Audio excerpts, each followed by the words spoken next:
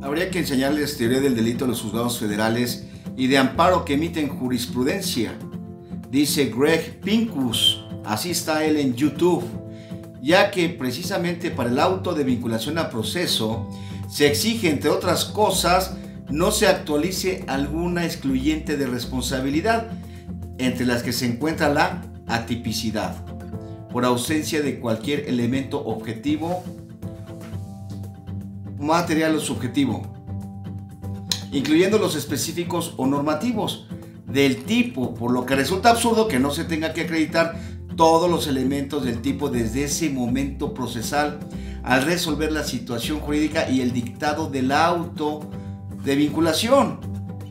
Hola, ¿cómo están? Tomen agua, bienvenido a mi canal. canal este, recuerden oprimir, oprimir perdón, la campanita de notificaciones.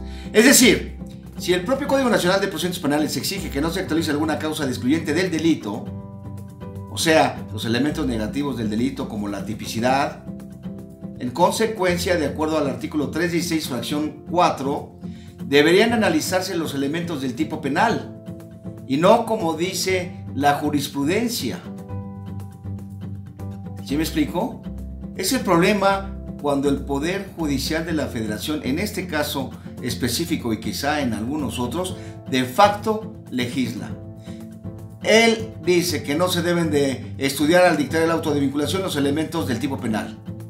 Pero el 316 fracción 4 dice que sí, se tenía que decir y se dijo. Hasta la próxima.